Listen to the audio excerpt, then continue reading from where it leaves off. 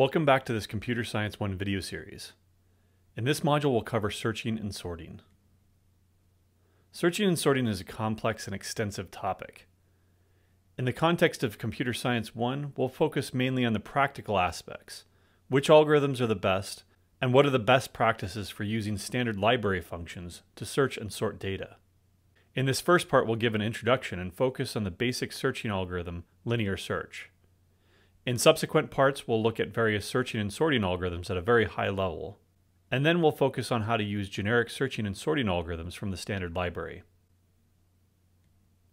Processing data is a fundamental operation in computer science. Fundamental to data processing are the operations of searching and sorting. These two operations often form the basis of other more complex algorithms, or are assumed as substeps to many other algorithms.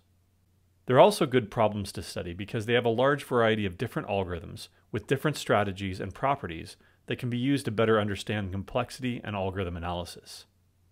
We'll start with searching. Very generally, given a collection of elements A and a key K, we need to find an element in the collection that matches the key. Often we refer to the collection as a haystack and the key as a needle because we're searching for the needle in the haystack. As stated, this search problem is a very general problem. Collections may refer to arrays or other dynamic data structures such as sets or lists. We didn't necessarily specify that a collection held integers, strings, or structures because we wanted to keep it general. We also didn't say what matches meant. We should be able to search by any criteria that we want. For example, if we're searching an array of student structures, we could search by a student's NUID or by their name, or by GPA, or any combination of these things. There are also many different variations on this general search problem. We could simply find the first element in the collection that matches our criteria, or we could find all such elements. Or as we've done before, we could find extremal elements such as the minimum or maximum element. Another thing to think about is, what do we do if the search is unsuccessful? If we don't find the needle in the haystack, we may need a way of indicating that. Our first potential solution to the search problem will be an algorithm called linear search. The basic idea is that we simply iterate through each element in the collection. For each element, we apply our matching criteria. If the element matches, we stop and report a successful search. Thus, we'll be focusing on the first variation, which we want to find the first element that matches our criteria. If no such element is found after examining them all, we need to return a flag value to indicate an unsuccessful search. Let's illustrate this idea by implementing a linear search algorithm in C. To keep it simple, we'll take an array of integers, as well as an integer key value k. We'll iterate through the array to find the first element equal to k. To report that we found it, we'll return the index at which we found it. To report an unsuccessful search, we'll return a flag value of negative 1, because this should be universally understood as an invalid index. Alternatively, we could have returned a pointer value instead, pointing to the value that matched our criteria. We'll look at both solutions. First, let's write some documentation.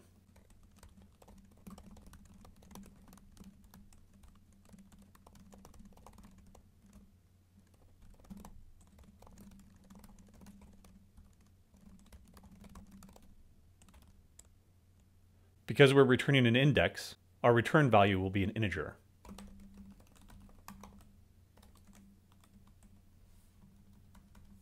We'll need to take an array, its size, and the key. Now we simply need to write a for loop to iterate over the elements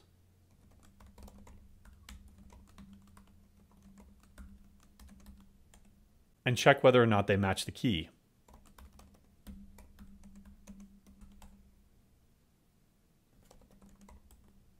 If it matches, we'll return the index at which we found it. Otherwise, if we get done iterating over the array and do not find a matching element, we'll return negative 1. Let's go ahead and test this.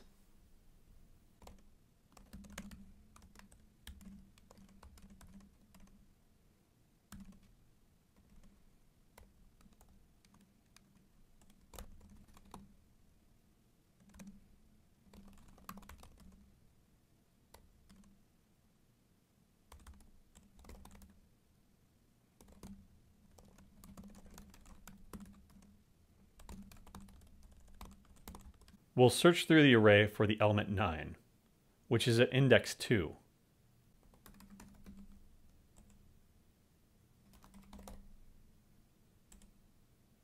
And it works. Let's change what we're searching for. We'll search for 3. Now the first instance of 3 is at index 3. Even though there's a duplicate, we're searching for the first one. Let's make an unsuccessful search. 42 is not in the array. We would expect it to return negative 1. Now let's write a variation on this. Alternatively, instead of returning an index, we could have returned a pointer to the element that matched our criteria. In that case, we would be returning an integer pointer,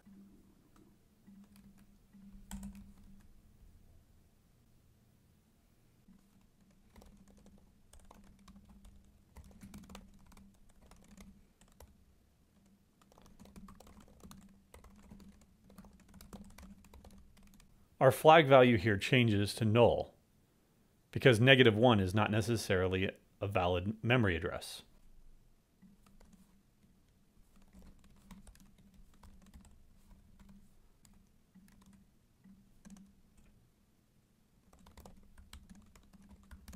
We still iterate over the array.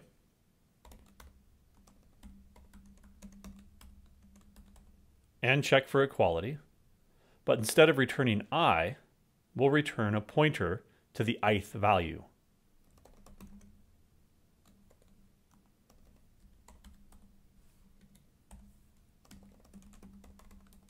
and null for an unsuccessful search.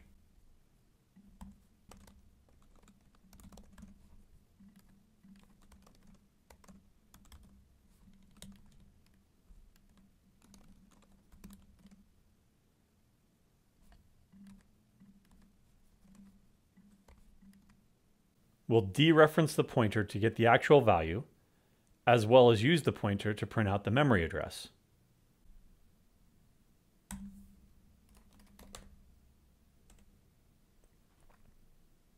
And it resulted in a successful search. Let's try it again for another element.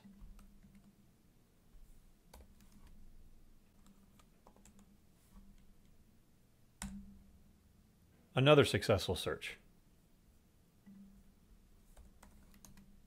How about an unsuccessful search? We get a segmentation fault because we attempted to dereference the null pointer. Obviously, we need to be more careful.